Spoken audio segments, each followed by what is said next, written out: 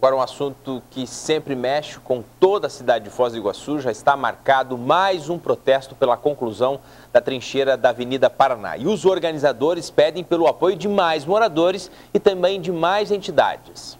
E já tem data a nova manifestação na obra da trincheira da BR-277. Na tarde dessa sexta-feira, o arquiteto Leandro Costa publicou uma nova convocação na página do evento no Facebook. Ele e mais um grupo de profissionais liberais são os organizadores do ato que pede a imediata finalização da construção do viaduto da Avenida Paraná. O próximo manifesto será no dia 28 de fevereiro, último sábado do mês, às 10 horas da manhã. Os manifestantes vão se posicionar em cima da trincheira para cobrar uma resposta do governo do estado. Eles querem saber, afinal, quando a trincheira vai ficar pronta. Na página do evento, o organizador diz que não há outra maneira. O primeiro ato no local foi no dia 31 de janeiro, mas até agora o grupo não teve retorno.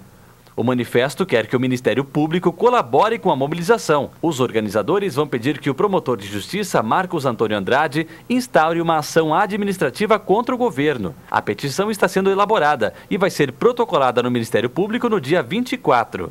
Para o próximo ato na trincheira, o grupo quer uma participação ainda maior da comunidade iguaçuense.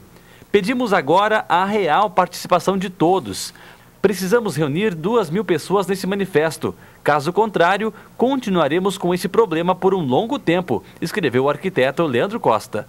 A mobilização já tem o apoio da Associação Comercial de Foz, da Ordem dos Advogados do Brasil, Associação de Engenheiros e Sindicato da Indústria da Construção mas o autor da publicação também convoca todas as entidades, associações e grupos da sociedade civil organizada para o manifesto do dia 28.